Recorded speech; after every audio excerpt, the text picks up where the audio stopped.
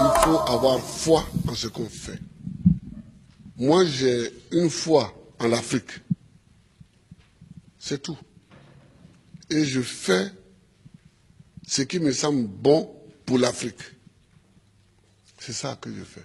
Le reste, c'est pas, c'est pas important. J'ai dit souvent à mes collaborateurs que celui qui veut être riche, il ne faut pas qu'il vienne faire la politique. Si quelqu'un fait la politique et qu'il devient riche, c'est qu'il est voleur. La politique n'est pas là pour enrichir les gens. En politique, on te donne les moyens pour que tu vives correctement, mais il y a un travail à faire. Si celui qui veut être riche, il fait des affaires. Il ne devient pas professeur, il ne devient pas journaliste, il ne devient pas caméraman, il ne devient pas homme politique. C'est pas des métiers où on devient riche, ça. C'est pas des métiers où on devient riche. Ça, c'est la première leçon que je voulais tirer. La deuxième leçon, c'est que tu peux partir de zéro et tu peux arriver au sommet. Pourvu que tu saches dès le départ où tu veux aller. Et que tu prennes les moyens pour arriver où tu veux arriver. Je me rappelle toujours d'une discussion que j'avais avec mes amis au lycée classique. On était un certain nombre qui voulions devenir président. Chacun dit va devenir président. Et il y en a un qui m'a dit, moi je vais d'abord faire les affaires, parce que sans argent, on ne peut pas devenir, on ne peut pas faire la politique, on ne peut pas devenir président. Et je lui ai dit, moi, c'est parce que je ne vais pas faire les affaires, que je vais être pauvre, que je vais avoir les mains propres et que je vais devenir président. Aujourd'hui, mon ami, il a eu beaucoup d'argent, effectivement. Il a beaucoup d'argent, mais il n'est jamais devenu président. Il n'a jamais même été candidat. voilà. Voilà, il n'a jamais été candidat. C'est-à-dire qu'il faut, il faut savoir ce que tu veux longtemps à l'avance. C'est-à-dire qu'il ne faut pas découvrir les situations de façon opportuniste. Faut savoir ce que tu veux être, ce que tu veux faire. Et tu te traces ta ligne de conduite. Donc tout ce que tu fais dans la vie, moi j'ai fait histoire pour devenir président. Sinon, la bourse qu'on m'a donnée pour aller en France, c'était pour faire professeur de latin et grec. Quand j'ai commencé vraiment à militer, je me suis rendu compte qu'il me manquait l'histoire de l'Afrique pour poursuivre ma route. J'ai changé. J'ai changé.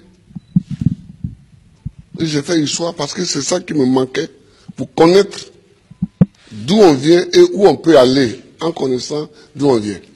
Je vois des gens qui découvrent qu'il y a un fauteuil à côté, ils peuvent s'asseoir dessus.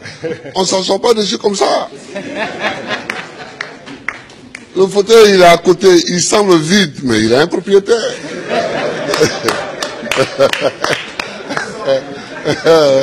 il a un propriétaire. C'est quand tu veux t'asseoir dessus que tu, tu te rends compte qu'il a un propriétaire. Et le propriétaire, il faut savoir que le propriétaire du fauteuil présidentiel, c'est le peuple. Il faut toujours savoir ça, que c'est le peuple. Tu as beau être ce que tu es, si tu ne sais pas que c'est le peuple, et que tu ne te conduis pas en conséquence, tu ne peux pas t'asseoir dessus. C'est tout ça que moi j'ai envie que les Africains sachent. Et puis, il faut aimer son pays, il faut aimer l'Afrique. Le président Laurent Gbagbo a aussi donné le sens de son combat pour l'émancipation et la dignité des Africains qui ont aussi droit, selon lui, à vivre heureux dans leur pays qui regorge des richesses inestimables. L'Afrique est une terre qui a subi tellement d'épreuves. Je ne sais pas si dans le monde, il y en a qui ont subi autant d'épreuves que nous. Les, Juifs aussi ont subi beaucoup d'épreuves. Mais nous, les Noirs africains, tout le monde s'est assis sur nous. Esclaves. Esclaves de maison. Esclaves de la traite négrière. Colonisés. Torturés culturellement. Parlant les langues des autres. Tout ça. décoloniser. Mais nous, on a des grands combats à mener. Et les grands combats que nous avons à mener, ce n'est pas pour se venger des gens, c'est pour au moins être homme aussi, comme les autres. C'est ça qu'on appelle la dignité. Quand quelqu'un, quand tu passes, il faut qu'on sache au moins que c'est un homme qui passe. C'est tout. C'est tout ce que nous voulons. C'est tout ce que nous recherchons. On ne cherche pas à dominer ceux qui nous ont dominés hier, à nous venger d'eux, à faire ceci. Non, non, non. On veut qu'on reconnaisse que nous sommes des hommes au même titre que les autres. Mais ça, si nous-mêmes, si nous-mêmes on ne prend pas les moyens, qu'on est toujours chez eux en train de mendier, et que les gens même, tu vas mettre l'argent chez eux en achetant les bâtiments, et puis eux-mêmes, ils te dénoncent. Que voilà un voleur. Comment? Je vous amène l'argent, vous me dénoncez. Mais je vous amènerai rien. Ah oui Moi, quand je vois des chefs d'État africains qui sont dénoncés en Europe, parce qu'ils ont investi en Europe, ça me fait pitié pour l'Afrique. Ça me fait pitié pour l'Afrique. Ça me fait pitié pour l'Afrique. Hein. Non, oh, il ne faut pas faire pitié. Il ne faut pas faire pitié. Quand tu passes, il faut qu'on dise que voilà un homme qui passe. C'est tout ce que nous cherchons aujourd'hui, c'est notre combat. Moi que si je ne passe pas les vacances en Europe, mais est-ce que je ne suis pas président? Je suis président. Si je mets mon pied sur le sol européen, c'est qu'il y a une réunion à laquelle euh, je dois participer pour que la Côte d'Ivoire gagne quelque chose. Sinon, je cherche quoi chez les autres? Je ne cherche pas quelque chose chez les autres.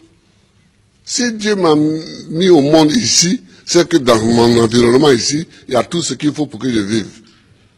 Mon combat, c'est pour la dignité. C'est pour la dignité.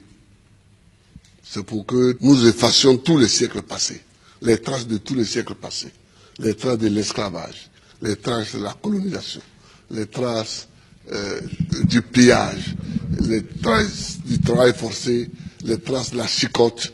C'est pour qu'on efface tout ça.